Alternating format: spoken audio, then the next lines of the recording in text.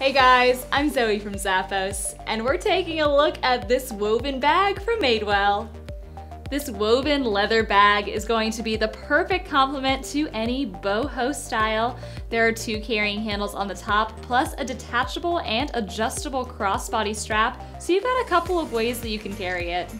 The interior is large enough to hold a sunglasses case and a small wallet with one zippered pocket on the back wall.